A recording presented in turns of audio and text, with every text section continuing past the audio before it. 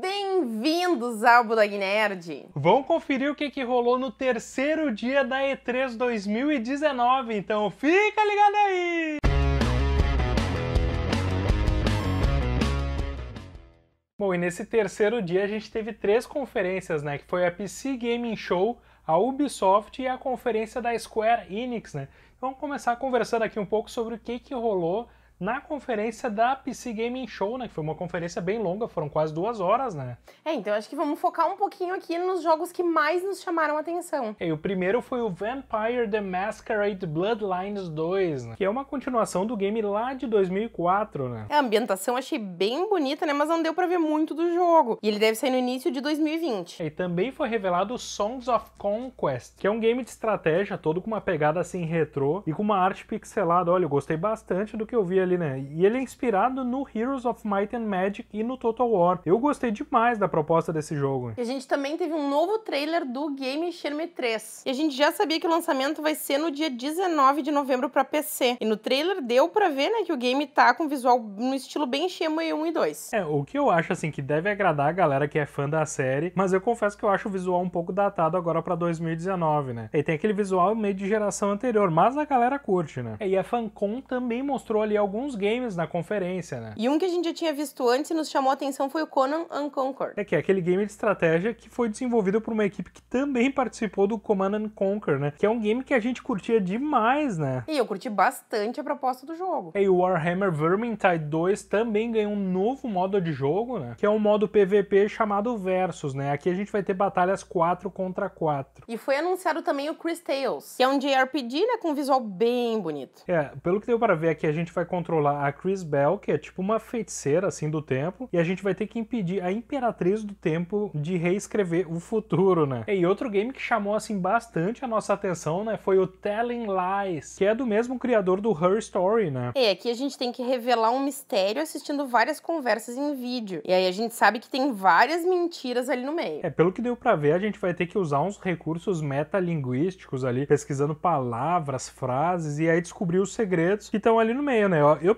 para mim, pareceu bem interessante, né? É, também foi anunciada uma expansão do Warframe, né? Que se chama Empyrean. Ele é focado no espaço, mas ainda não deu para ver muita coisa sobre a expansão. E aqui na conferência também falaram um pouquinho sobre o Baldur's Gate 3, né? E o trailer que eles mostraram ali na conferência, eu achei bem maneiro, né? É, só que não rolaram muitas informações sobre o game, nem data de lançamento. Aí a gente passa pra conferência da Ubisoft, né? Que começou ali, eu gostei de como começou, começou com uma orquestra ali, aí eles botaram no telão Assassin's Creed Orchestra Ali tocando uma música. Eu achei bem maneiro. O único problema é que a gente achou que seria uma introdução para eles apresentarem um novo Assassin's Creed, mas não foi. É, aí em seguida teve uma boa parte da conferência que foi dedicada pro Watch Dogs Legion, né? E aí a gente teve a confirmação que o game vai sair no dia 6 de março de 2020. E a Ubisoft compartilhou um gameplay, achei até bem longo, né? E eu curti o que eles mostraram. É, pelo que deu para ver, a gente vai poder recrutar qualquer NPC do mundo aberto que eles criaram, mas a gente também vai poder controlar qualquer um desses NPCs, né? O que eu achei um conceito bem legal, até porque cada NPC, pelo que eles mostraram, tem um background, uma história própria, né? E se por acaso o personagem morre, a gente tem que seguir jogando com o outro, né? Assim por diante. Eu gostei bastante desses conceitos aí. Aí a gente teve uma apresentação ali sobre o Ghost Recon Breakpoint. A gente conseguiu ver um cinematic e um trailer. É, aí o ator, o John Rosenthal, ele, que tá no game, né? Ele apareceu na conferência e falou um pouquinho sobre o jogo, né? E o game ele vai ser uma sequência do Wildlands, que fez bastante sucesso, eu mesmo gostei bastante do game, e ele deve sair no dia 4 de outubro de 2019 para Play 4, Xbox One e PC. É, e aí teve também uma apresentação rápida para apresentar o Just Dance 2020, que na verdade tem uma comunidade bem engajada. É, inclusive a gente cobriu as finais Porto Alegre e São Paulo do campeonato Just Dance Tour Brasil de 2018, né? E a final nacional em dezembro também, né? O que eu achei muito massa, né? Aí na conferência que eles divulgaram também um novo evento do For Honor, que é o Shadows of the Hitokiri. E provavelmente vai agradar a galera que já curte o game, né? E olha só, gente teve aqui o anúncio do Rainbow Six Quarantine, que vai ser um game co-op para três jogadores. É, o que eu achei legal aqui, então o Rainbow Six Siege ele vai seguir ainda como uma referência pro PVP e esse novo game ele vai focar no co-op, né? E o game ele deve sair ali pelo início de 2020, né? Só que só deu para ver um teaser e eu fiquei bem curiosa para saber um pouquinho mais desse game. É, na conferência a gente também teve uma apresentação do The Division 2, né? E eles anunciaram que o game vai ficar gratuito entre os dias 13 e e 16 de junho e mostraram um teaser do episódio 3 do jogo, né? Mas que esse episódio só vai sair agora em 2020. Né? E os caras confirmaram um filme do The Division que tá sendo produzido pelo Netflix. Eu achei demais que esse filme vai passar em Manhattan, vai ter a Jessica Chastain e o Jake Gyllenhaal no elenco. E olha só, o diretor vai ser o David Light, que é o diretor do John Wick, né? Olha, eu curto o lore do game, então eu gostei demais da ideia desse filme também, né? É, e a Ubisoft também confirmou o lançamento do serviço Uplay Plus, né? E a galera vai poder assinar o serviço,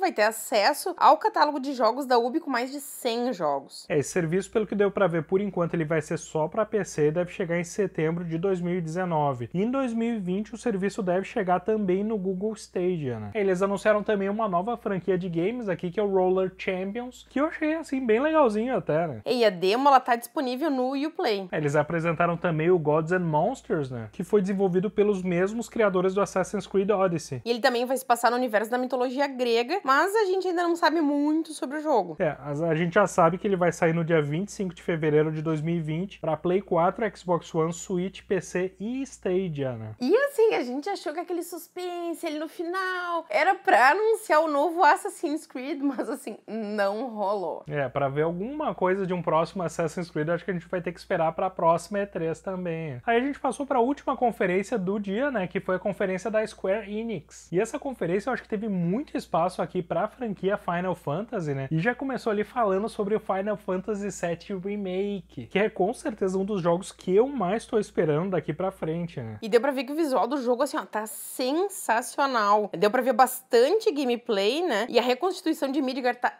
de mais. É, o sistema de combate ele também pareceu bem bom, né? Com alguns elementos ali que deram certo no Final Fantasy XV, mas também com alguns sistemas táticos novos que eu achei bem legal, né? E para mim esse foi um dos pontos altos da E3 desse ano. É, e o game deve chegar no dia 3 de março para PlayStation 4. É, eles anunciaram também que o Final Fantasy VIII vai ganhar uma versão remasterizada, né? Que deve chegar em algum momento de 2019 para PlayStation 4, Xbox One, Switch e PC. E o Final Fantasy Crystal Chronicles também vai ganhar um remaster. Né? Eles ainda não confirmaram o lançamento, mas vai ser em algum momento ali entre dezembro de 2019 e fevereiro de 2020. E a gente também viu um pouquinho ali de Shadowbringers, que é o DLC do Final Fantasy XIV Online, né? E essa expansão vai trazer novos conteúdos, novas missões e novas classes. É o que eu achei legal, porque deve ampliar bastante a experiência do jogo, né? E a Square disse que é uma oportunidade boa pra galera que não conhece o game entrar no universo do Final Fantasy XIV Online agora, né? E outro game que estava muito aguardado e teve bastante espaço aqui na conferência